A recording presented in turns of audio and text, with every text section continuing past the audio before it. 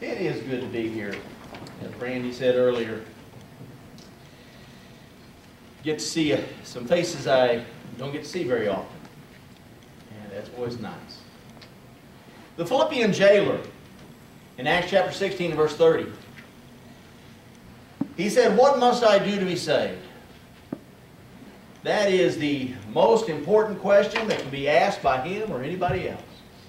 What must I do to be saved?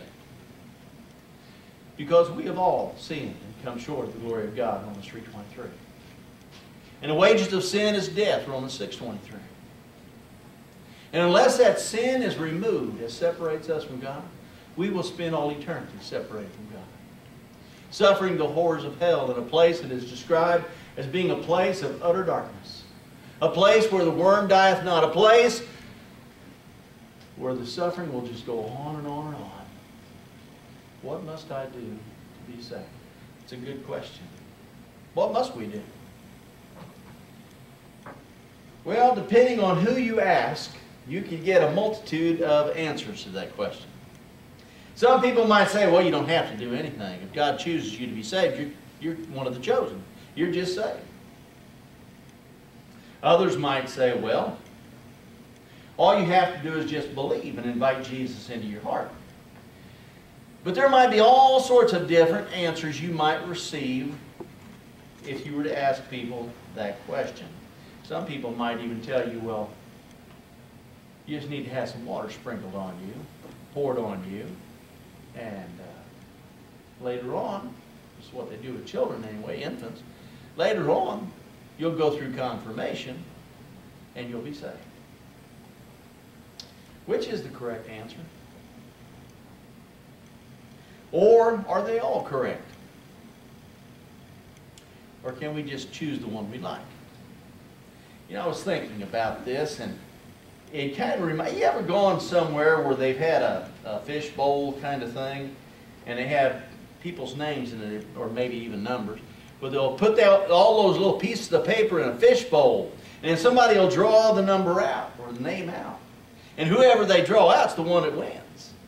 Kind of reminds me of the same thing. They take all of these ideas, all these answers that they might give you, and they put them in a fishbowl. And you just draw out the one you want. And, uh, you know, that's what you do. And you'll be saved. Well, it's not quite the way it works. Uh, and really, it doesn't make any sense for God to send His Son to this earth to be made in the likeness of a man to live his life here, a perfect life, and to allow himself to be arrested and tried and crucified and die on a cross that our sins can be forgiven. But it doesn't make any sense that God wouldn't tell us what he would have us to do. Amen. God has told us very clearly. He tells us in Romans chapter 10 and verse 17, faith cometh by hearing, and hearing by the word of God. We hear His Word. We have the evidence. We come to a knowledge of the truth that Jesus is the Christ, the Son of the living God, and we believe. And Jesus said in Mark 16, 16, He that believeth and is baptized shall be saved. But also it says in Romans chapter 10 verse 10, with the mouth confession is made unto salvation. And then in Acts chapter 2 and verse 38 it says, Repent and be baptized for the remission of sins. So you put all those things together of what God has said. We are to hear, believe, repent, confess, and be baptized. Those are the things that God says we must do. Now, I have been asked to speak on why we baptize for the remission of sins. Now, I can simply say because I can simply say because that's what God says, and I go sit down. We're going to cover a little more than that, but that is what He says. You know, 1 Peter chapter 3, verse 21, for instance, it says, Whereunto baptism doth also now save us. That's pretty clear. It really is. That's pretty clear. But let's consider the subject. Why do we baptize for the remission of sins? And I'd like to begin by answering the question, what is baptism? You know, if you look the word up in an English dictionary, you're liable to get the uh, a definition like the following. The religious rite of sprinkling water on, onto a person's forehead or of immersion in water. If you look that up in an English dictionary, that might be the definition you get. or you might get a similar uh, definition. Uh, they might say it's a religious rite in which either water is poured or sprinkled on an individual, or you might even be immersed. But, you know, when we're talking about what the Bible has to say, we're talking about the New Testament. You know, they, they, the English dictionaries that we might use, they are written, they give definitions of the way in which a word is used in its current time. And uh, the definitions we looked at a second ago may be how most people use that word. But when we're talking about the New Testament, we're talking about something that was written some 2,000 years ago in Greek. Therefore, we need to go back to see what it meant 2,000 years ago in the Greek language. What does the word baptism mean?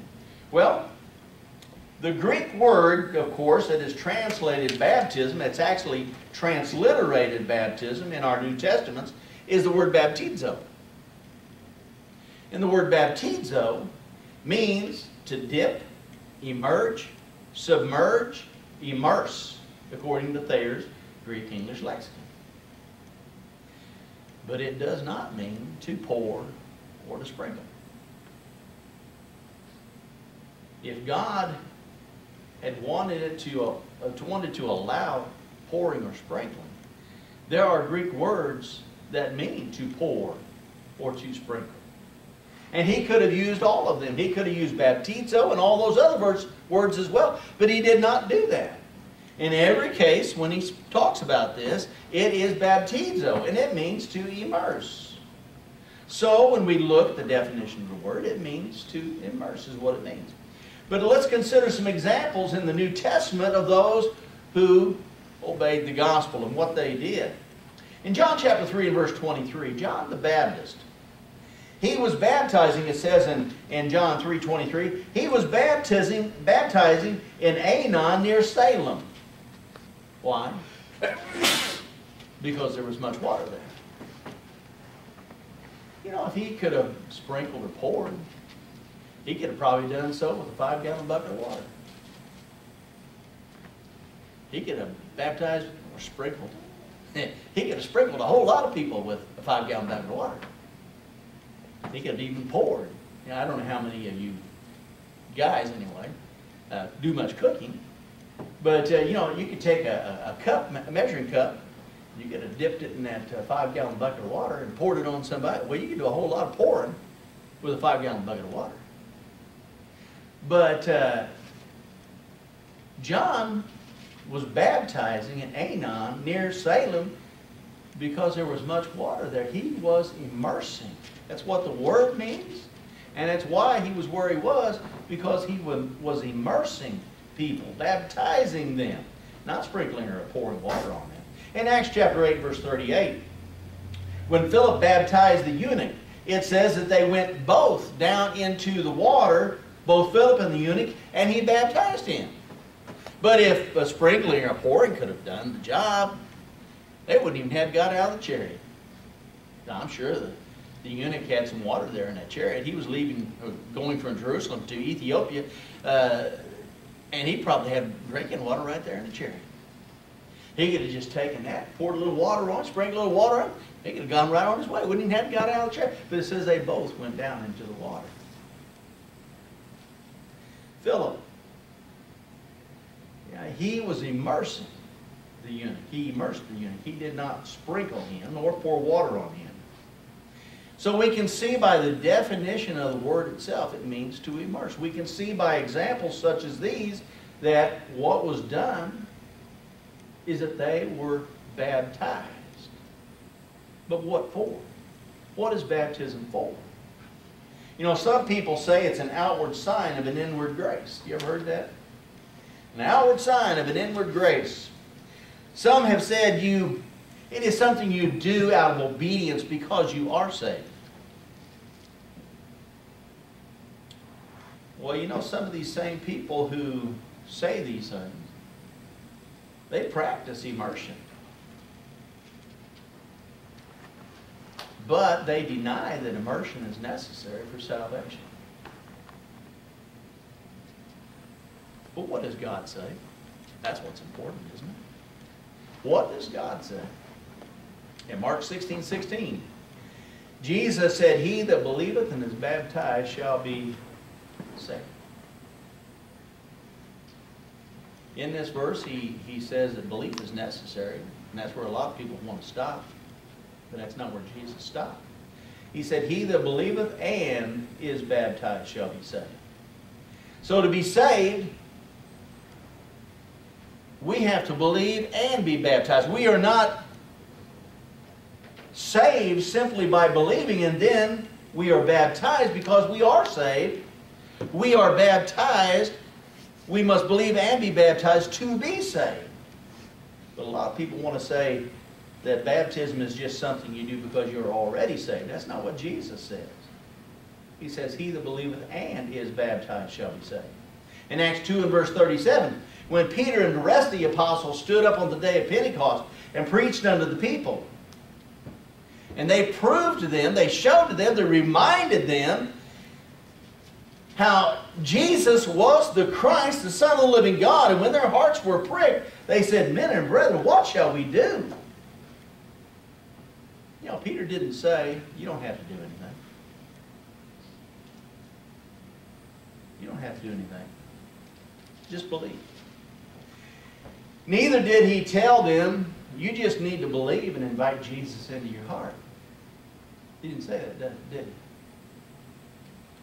Peter said, Repent and be baptized, every one of you, in the name of Jesus Christ for the remission of sins. In Acts chapter 22 and verse 16. When Ananias, who was sent by God to Saul to tell him what he needed to do, in Acts 22 and 16, when Ananias came to Saul of Tarsus, he said unto him, Why tarriest thou? Arise and be baptized wash away thy sins. Peter, as we referred to earlier, he makes it very clear. I don't see how you can get really any clearer than what it says in 1 Peter chapter 3, verse 21. Whereunto even baptism doth also now save us. What'd you say, Peter? Baptism doth also now save us. Baptism alone? No. But it is part of what God requires. And when you keep in context of what Peter's talking about there in 1 Peter chapter 3, he's comparing baptism to the water of Noah's day. What did Noah do? Built an ark, didn't he? And When it started to rain, what did that water do? It lifted that ark up. And it separated those that were in that ark from the sin of the world. What does baptism do? It separates us from our sin. Whereunto baptism doth also now save us. So, we know what baptism is. It's immersion. We know what it does. It saves us from our sin. It separates us from our sin. But does that mean that we are working our way to heaven or meriting our salvation? Because that's what some people accuse us of. And their proof text of that, what they'll probably go to anyway, is Ephesians chapter 2, verses 8 and 9, where it says, For by grace are ye saved through faith, and that not of yourselves, it is a gift of God, not of works, lest any man should boast.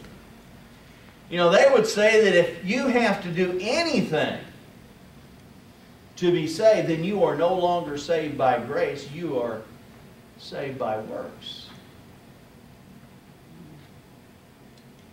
Well, if that's the case, if we have to do anything, which is really what they say, if you have to do anything to be saved, then you're saved by works, you're not saved by grace, then I guess Jesus was wrong. Because Jesus said in Mark 16, 16, He that believeth and is baptized shall be saved. I guess Peter was wrong. When he said in Acts chapter 2 and verse 38, repent and be baptized for the remission of sins. You know, they want to say if you do anything to be saved, then you're no longer saved by grace. Well, if that's the case, then we don't even have to believe.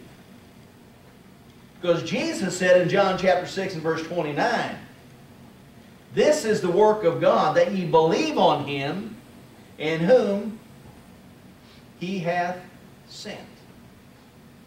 What he said? This is the work of God. What is the work of God? To believe in him whom he has sent. Therefore, what is belief? What is believing? It is a work. And if they want to say, oh, you can't, if you do anything to be saved, it's required for you to do anything to be saved, then you're no longer saved by grace, you're saved by your works. Well, Jesus says faith, believing, is a work. Therefore, we don't have to believe according to their thinking. We really don't. Ananias also was wrong in telling Saul to arise and be baptized and wash away thy sins. Well, let's examine their proof text. You know, they want to say Ephesians 2, 8, and 9 says that we are saved by grace, not by works. You know, I do agree. I do agree. We are saved by the grace of God. We do not deserve it. None of us do. We cannot put God in our debt to where he owes us salvation. I do agree with that. We cannot earn our salvation. The price was paid by Christ. We cannot work our way into heaven. I totally agree with that. But really, when you take in context of what Paul is saying here, in Ephesians chapter 2, he is talking about works of merit. He is saying here, uh, For by grace are ye saved through faith, and that not of yourselves. It is a gift of God, not of works, lest any man should boast. You know, we cannot do works of merit that would result in our boasting in our own salvation. The Jews, they could keep the law. That was a work of merit. They were saved, they were saved by grace through faith, not by the keeping of that old law. The Gentiles, you know, they could not boast that they were saved by some sort of work of merit. They too were saved by grace through faith.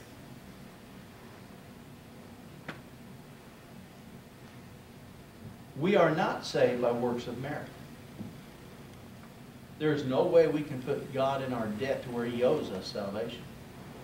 But that does not negate the fact that we have to do works of obedience to do what God would have us to do, to be saved by His grace. Let's consider some biblical examples of some works of obedience. You know, God saved Noah and his family, right? But they still had to build the ark, didn't they? Were they saved from that flood by the grace of God? Absolutely. But they still had to do works of obedience.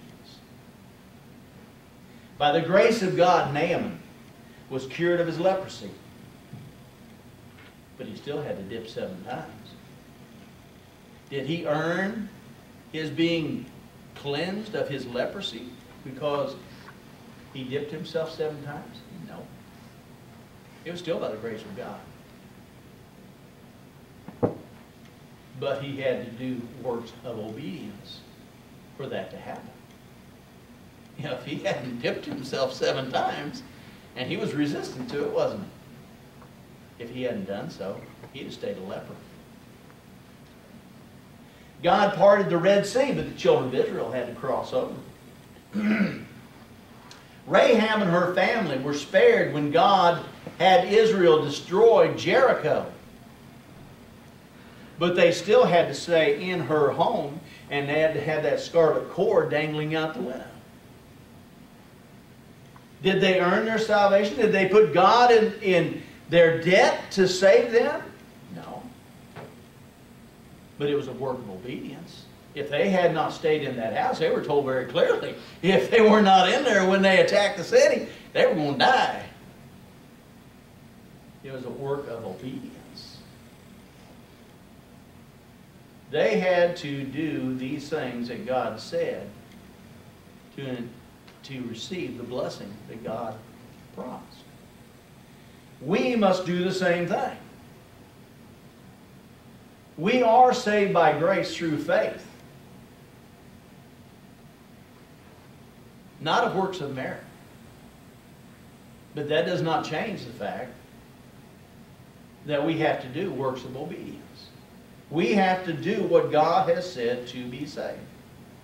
He said we must believe. Mark 16, 16, he that believeth and is baptized shall be saved. Even though Jesus says that belief is a work, we still have to do it. We have to confess. With the mouth, confession is made unto salvation. Romans chapter 10 and verse 10. We must confess. It is something that we must do.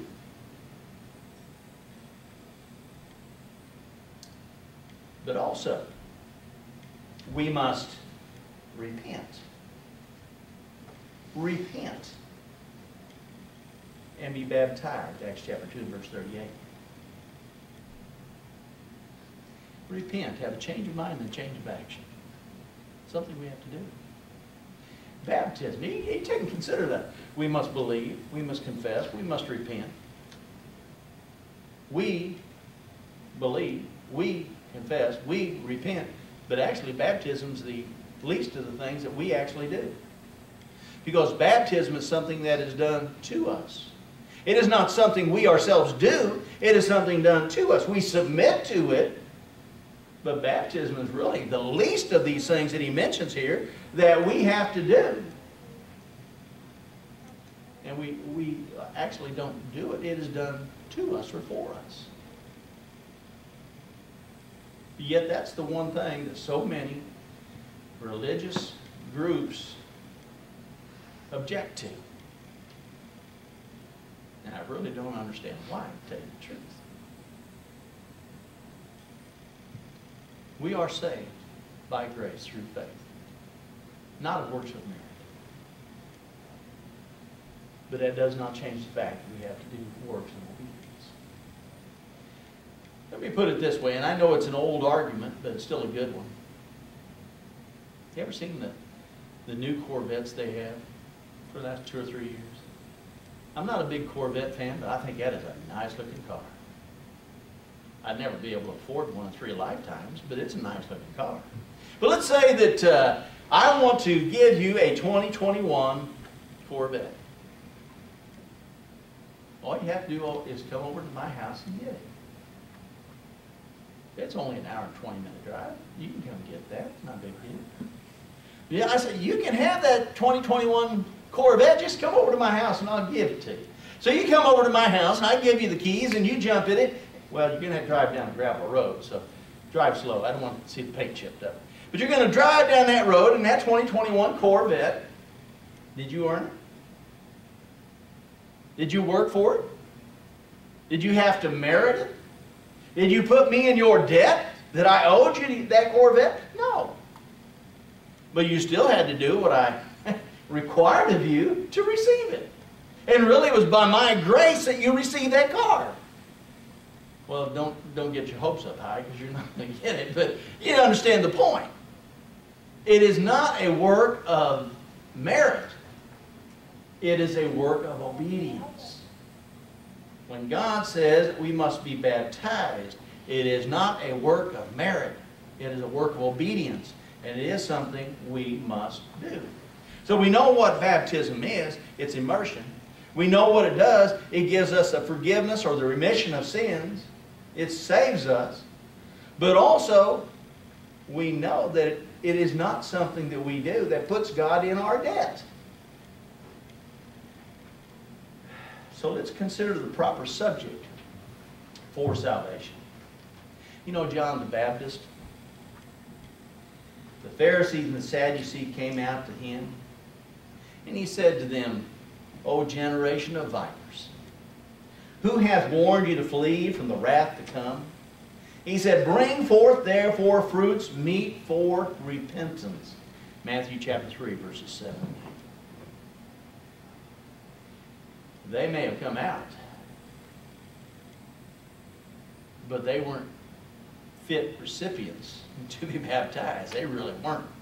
They needed to bring forth fruits meet for, or uh, uh, fruits that were worthy of repentance before they were candidates for baptism.